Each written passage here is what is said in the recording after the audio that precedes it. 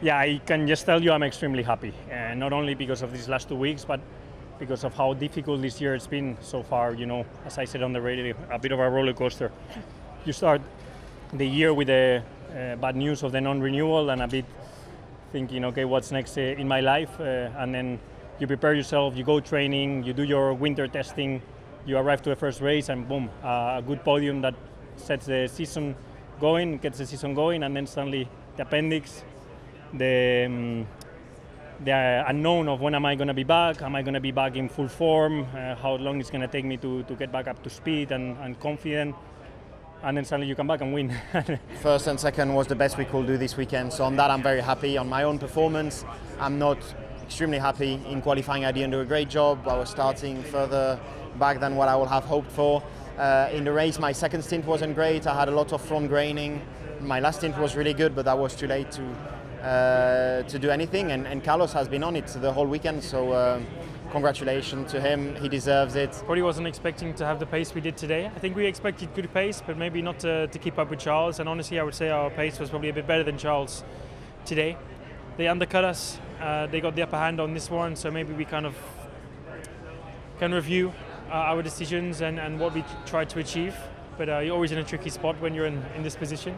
Yeah, I think definitely we we were a bit quicker than we expected. Um, yeah, when we, we could hang with the Ferraris, that was uh, a positive surprise, and obviously Max went out early, but um, yeah, was surprised Checo wasn't a bit quicker. So um, yeah, good result. Happy with that, and uh, I think you know the fact that we were able to stay pretty close to Ferrari was uh, a great sign. Uh, we just struggled to put the, the car in the window. I think uh, the first stint I was very limited. The, um, we were trying to protect the front, but we overdid it. And, uh, and then going on to the second and third stint, we just decked off the that front left tire, which uh, yeah, it wasn't ideal, unfortunately. Yeah, it was obviously a very difficult weekend for us in terms of pace. So yeah, the race we were lucky with the safety car at the beginning with Lewis, and then. Uh, um, the pit stops were, were great as well, so thanks to the strategy and a little bit of luck, obviously we maximized the points, but uh, we cannot forget that the, the, the pace was uh, difficult the whole weekend. Yeah, it was, uh, I mean, a pretty lonely race, but uh, good to pick up some points. The pace was there uh, from already from last two races. I would say for sure this race was probably probably the best out of uh, out of three. Um, so yeah, also we we will check the reason why we were performing well here, and um, hopefully also we can continue like this performing uh, also next races onwards. Yeah.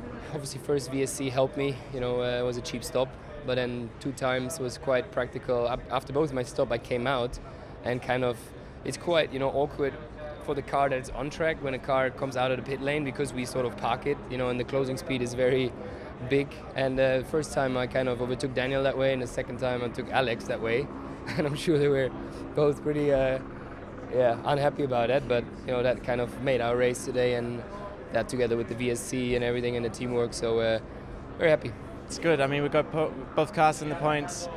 Good teamwork once again. Um, obviously, it didn't help me with the virtual safety car, the first one, but. Uh, on the flip side, it helped Nico so we could, uh, you know, get him back in the battle and fantastic uh, day for us to uh, to get three points here um, after qualifying. You know, decent but not not great. Um, just super happy with today.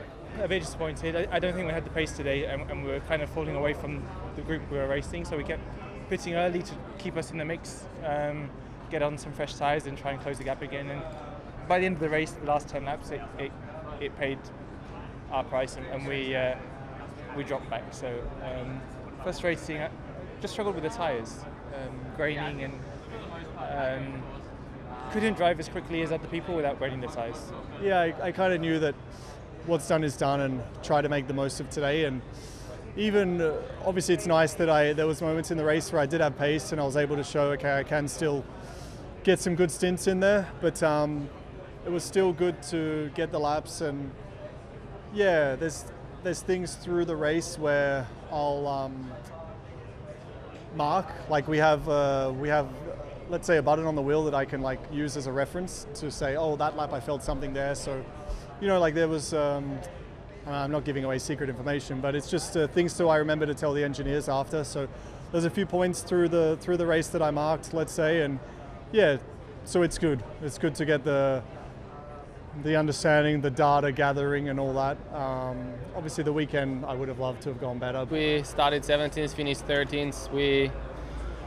tried with the strategy, tried to put ourselves in a at some stage of the race in a decent position in case there is any red flag, and uh, we in a way feel like we we did the, the best we uh, the best we could with the package we had, but. Uh, you know, we were just talking about it. Last year I was fighting with Carlos for P4 this year he wins the race and we're fighting in 13th. It's not great. Obviously, we know we have work to do on those, and um, yeah, it's, it's frustrating because it's. I think we had a good pace, good start.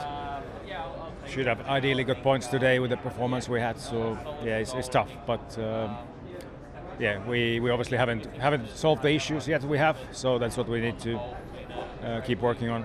Actually, we was together with the, the guys, the pace, and I think uh, Besides from that, we had a, let's say a better pace compared to the Alpines, like we expected. And then starting at the back of the train is difficult to just gain positions. Everybody is in the DRS train and uh, was tricky to overtake. But pace was pace was okay in general, like we expected, but nothing surprisingly bad or more.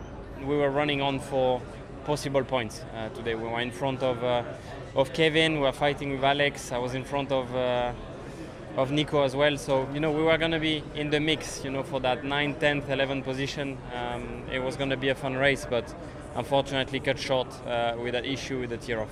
Yeah, I'm okay. Um, really don't know what happened, to be honest. I was half a second behind Fernando on the entry of the corner.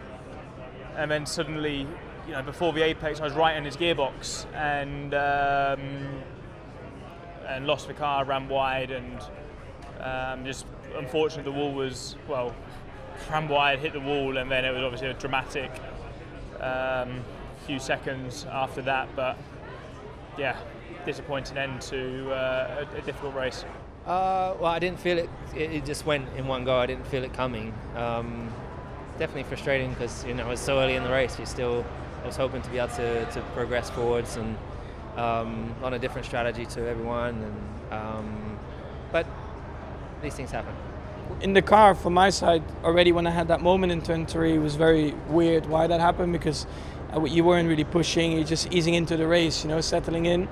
But um, of course once I got out of the car you look into the data and um, basically what happened was from the from the when the lights went off uh, the right rear brake stuck on and um, yeah it didn't cool. So it just kept on being warmer and warmer giving me really weird instabilities and then of course it caught fire